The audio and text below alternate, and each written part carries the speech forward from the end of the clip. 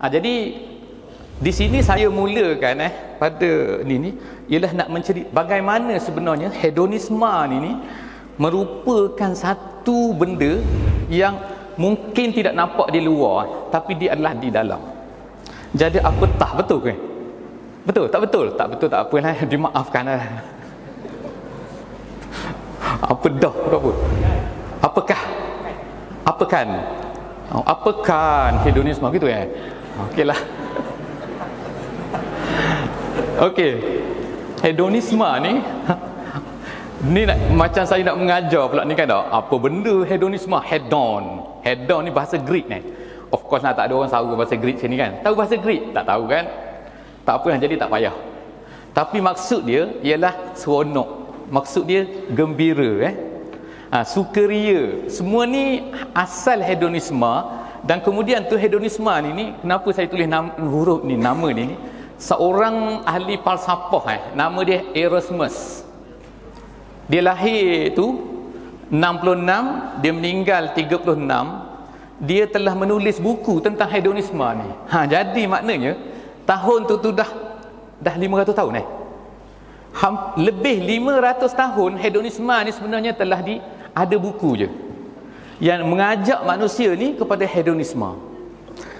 Saya nak bawa lagi eh lepas daripada ni. Jadi maksud hedonisme tu kesimpulan dia bahasanya ialah menjadikan kesenangan dunia untuk mem memperolehi ketenangan rohani. Ha.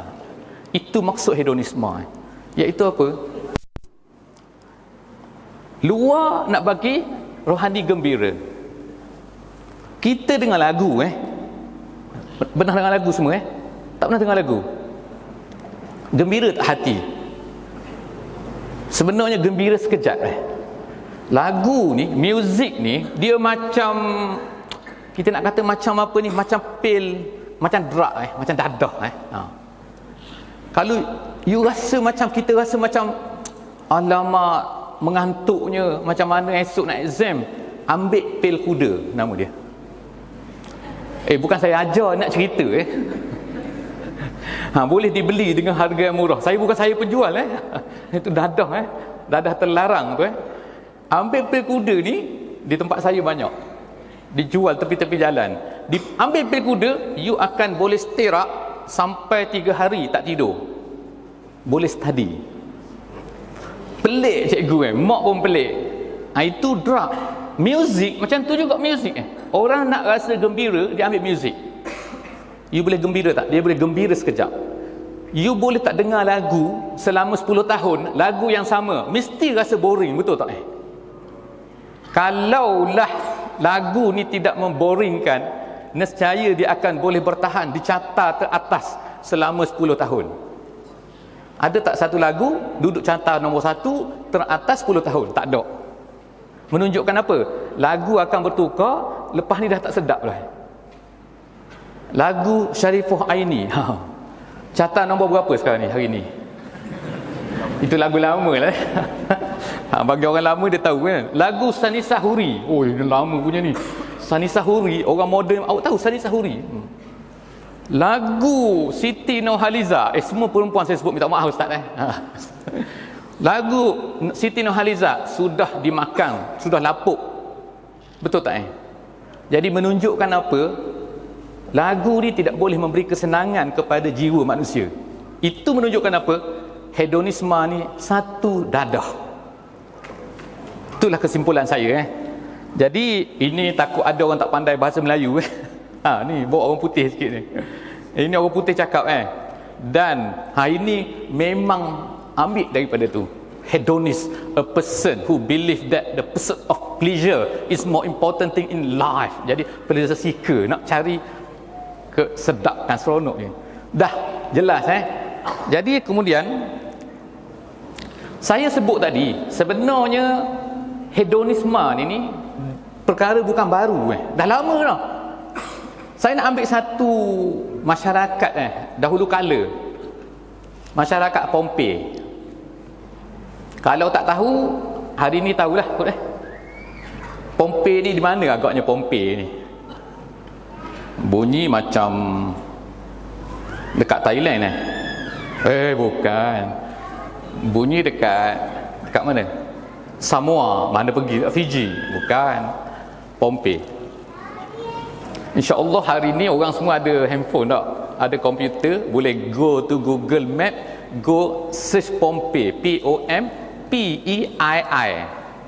Jadi di sini ni dulu ada satu masyarakat eh yang tinggal di bandar ni ni dan masyarakat ini memang terkenal dengan hedonisme. Memang orang Rom dulu ni memang terkenal dengan hedonisme. Hed mana dia gembira happy je happy. Jadi bandar Pompei ni ni dia berhampiran dengan satu gunung berapi gunung berapi ni ni biasalah kan suka meletup tak? Dia hobi dia meletus eh? Ha, dia tak beritahu orang dia nak meletus. Dia kata hmm, aku nak meletus sekali. Pum dia meletus. Ha, ni yang berlaku di Pompei lah eh. jadi Pompei tu duduk di bawah tu. Jadi gunung tu dah ada di atas tu. Gunung tu masih ada sampai sekarang eh? Dia sedang tidur. Dia tak beritahu lah dia nak bangun bila. Berus gigi ada tepi tu jadi apa yang berlaku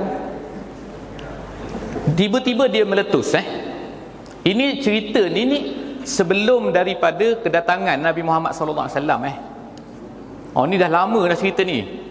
Lalu ketika masyarakat Pompei ni ni sedang berhappy, gembira, senang-senang hati, macam-macam lah minum dan salah satu daripada yang diamalkan oleh masyarakat Pompei ni ialah seks bebas eh.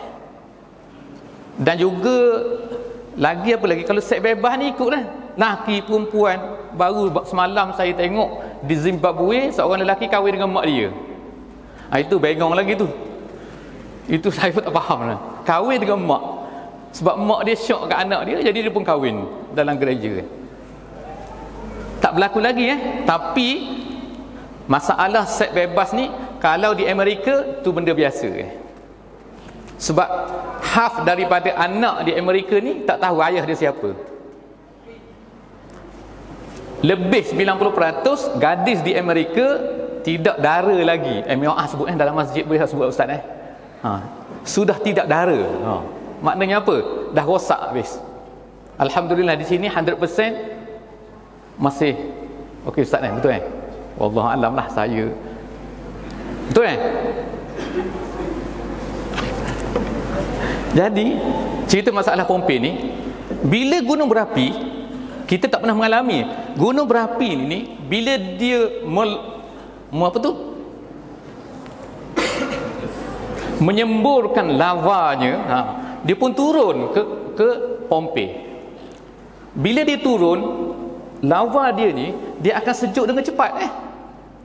Dan dia akan kena orang dia tak kira dah langgar orang semua akhirnya satu kota tu tertimbus oleh lava ni.